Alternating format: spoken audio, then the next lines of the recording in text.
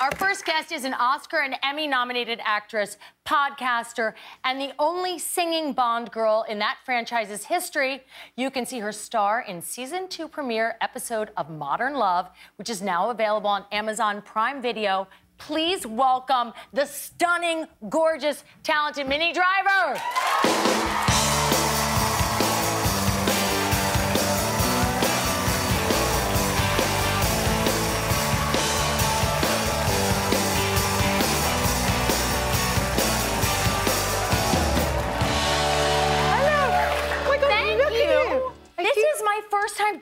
I'm so lucky that you came. You have such grown-up glasses on. Uh, well, I'm blind as a bat. Yeah. I think it's called old, but thank you. But you look very cute. Also, like, I could be here for a job interview. You could be, and we're six feet apart, so you're not going to get it.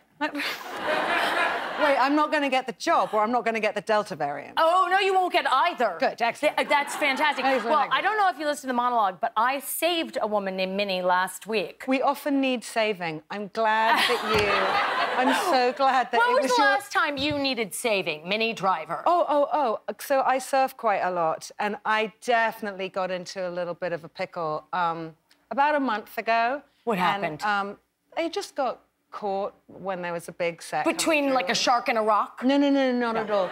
I just needed, I needed someone to tell me where to sit so that I wasn't gonna get crushed by the sets coming in, and it was good. So I was safe. Wait a minute, where to sit or where to sit? Where to set? Where to sit. Sit. While the set. Oh, I see. Came through. I mean, you can see why it's confusing. Where to sit for the set. But you've been surfing since you were like a baby, right? I've been surfing for a, not quite a baby, but a long time. Listen, it, you you can never disrespect Mother Ocean. No, absolutely not. That's yeah. why I don't surf. You don't. Yeah. And I don't sit on a set. I mean, I sit on a set, but not a set of waves. That is an insane thing.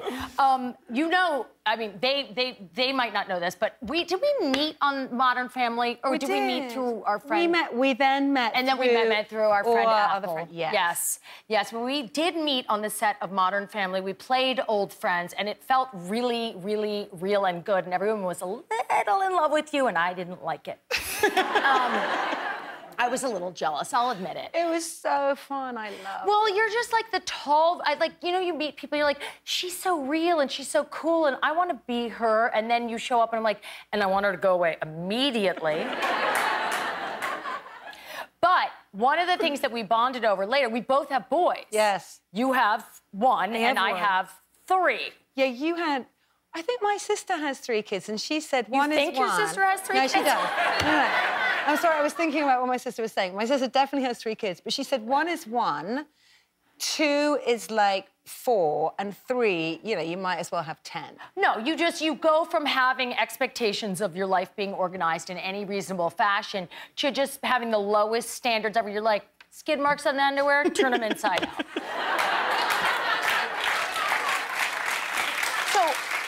One of the things I find really hard with my boys is finding anything in common as far as pop culture, music. Like, what do you do? You do you and your is it Henry? Henry. Henry does Henry like well, the same Henry, things? Yeah, he's got he's got funny programming because he's my boyfriend is mad about 80s movies and music. Oh, fun! And particularly Alan Silvestri, who you will know composed the score to many wonderful films, including Romancing the Stone. So I will often hear Henry in the shower humming the tune to Romancing the Stone, and he's. You could see my mouth on the ground because my boys only listen to violent graphic music, and, and my approach is to just let it go. And we're in the car, and then I pause and go, Let's talk about what we just heard. No, I do that. What is she okay, doing okay. in the shower on her knees? Exactly. Yes. But I, I do it in the I do it in the films. I do it in the films when we're watching. Like when you watch these movies, like every the representation of women in these films is unbelievable because they're either sort of the buttoned up, the buttoned up mom who mm -hmm. like nobody is mm -hmm. having sex with and nobody wants to have sex with, or they're in crazily inappropriate clothing with, and I'm constantly pausing and going, now listen. Just because she has large, beautiful breasts, she may also have something to say. We'll never know because we're so busy looking at her boobs. which is which is true. It's a, it's a tale as old as time. It's the Madonna whore complex. It and you have to explain, mommy is somewhere in the middle. I'm, I'm just somewhere in the middle.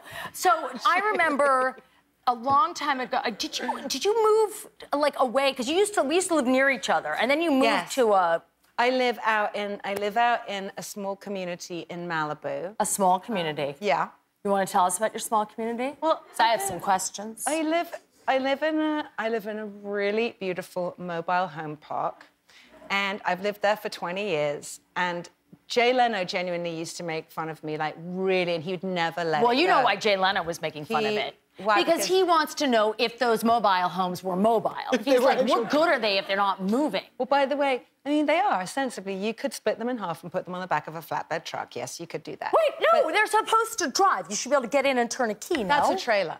That's a trailer. Julie, you go into a trailer every time in between filming. Yes, you I know, know, what a but trailer I is.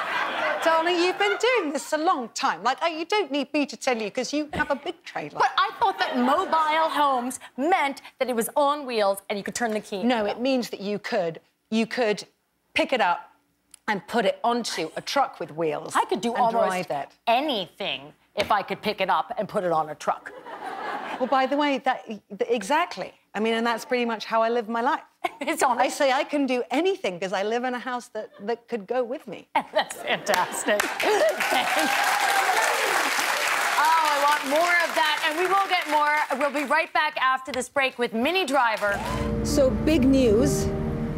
Um, I'm selling the car, and it's breaking my heart. It's the bills, no? It's getting older, and I'm not getting any richer. I can't talk to you back at the house or at the office. People would think I'm crazy. But here, who cares? It's like I can feel your presence. Wow! Welcome back, Minnie Driver. Minnie, I was doing all my homework because I wanted to be a good host, and I thought Modern Love was fluffy and light, so I did what I always do, and I was watching it in the gym on the bike. Um, I want to show you what happened. I'm not kidding. It is the saddest, most heart wrenching thing in the world, and you are so beautiful in it. Oh, thank you, darling. Thank you. That's so nice. It is a really, it is a really sad, beautiful story with some hope at the end. But it's based know. on like a real Oh, thing yeah. that happened Yeah, from the yeah. articles in, in the New York Times. Yeah, it started out as the as the column in the New York Times, and it became a podcast, and now they've made this beautiful TV show. And it's, you know, we shot it all in Ireland, and it was it was amazing. It Well, if any of you need to get your cry on, men, if you need to like do your annual cry, anything, this is.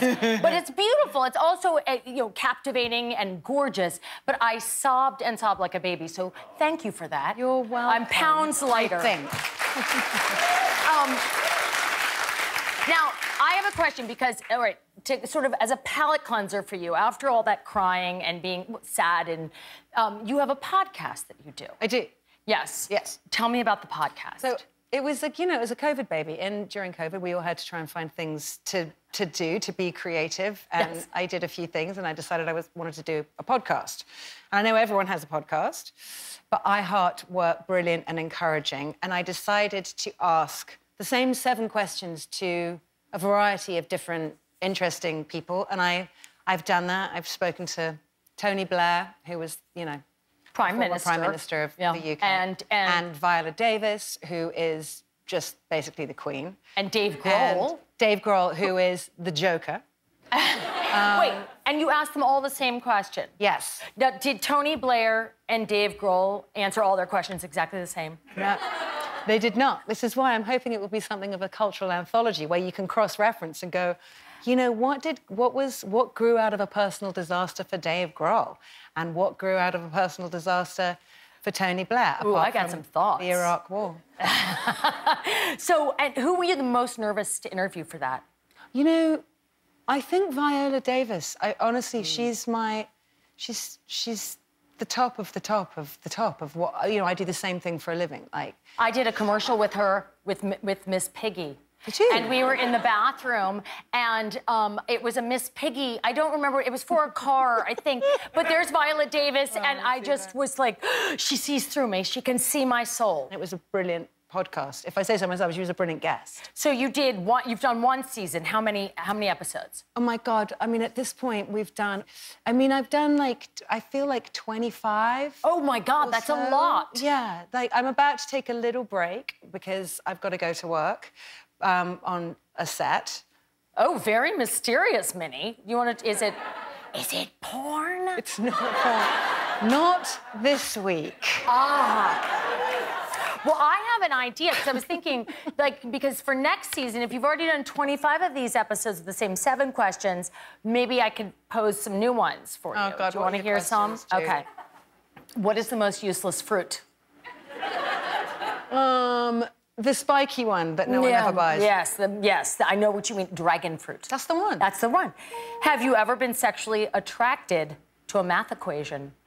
Yeah, pi gets me hot. Uh, yeah. I mean, I could go on and on and on. I'm only going to ask one one more. Would you rather read on the toilet or be able to pee anywhere you want in a library? I don't want to pee in a library. No, I read on the toilet. You're so sensible. Thank you, Minnie. I'll leave these with you. Thank you so much. Thank you. Season two premiere episode of Modern Love is available now on Amazon Prime Video, and I cannot recommend it enough. We will be back with Jacob Elordi. Ba-dum-bum, ba-dum.